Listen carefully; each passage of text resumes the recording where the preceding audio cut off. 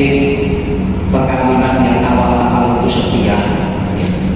Awal-awal itu bahagia namun karena ada perubahan ya kesetiaan ini itu bisa berantakan atau putus di tengah jalan.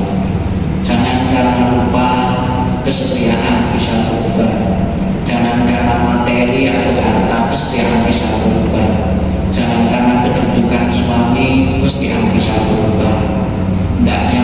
menjadi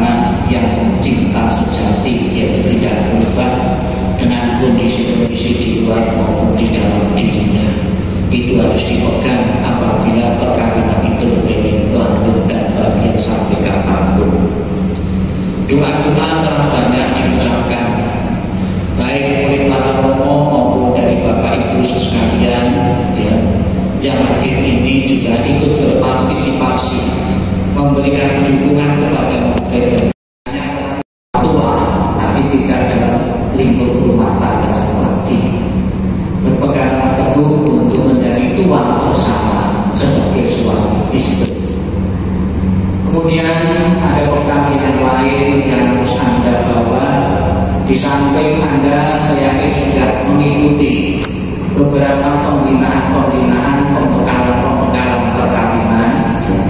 Di situ Anda sudah diberikan beberapa teori-teori, beberapa kiat-kiat bagaimana hubungan suami istri agar bisa lanjut dan bahagia. Perlu saya tambahkan ada tiga hal bagi suami istri ya. Keduanya suami istri mempunyai ada tiga hal yang saya singkat menjadi T atau ta suami istri harus bisa menata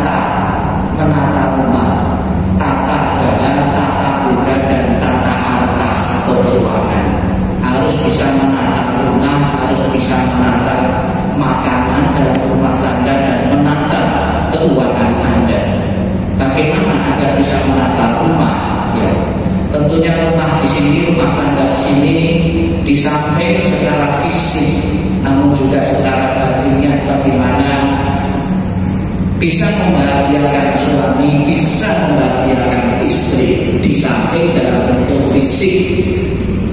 Ya dalam rumah tangga harus ada kenyamanan di dalam rumah tangga. Kan sering kita lihat di salah satu rumah kondisi rumah tangganya itu acara-acara seperti Buddha padahal pikiran kita batin kita itu juga sangat penting terhadap lingkungan di mana kita tinggal. Saya sering menemukan beberapa rumah tangga rumah tangga yang dalamnya itu acak-acakan ya. ini juga tentunya akan mempengaruhi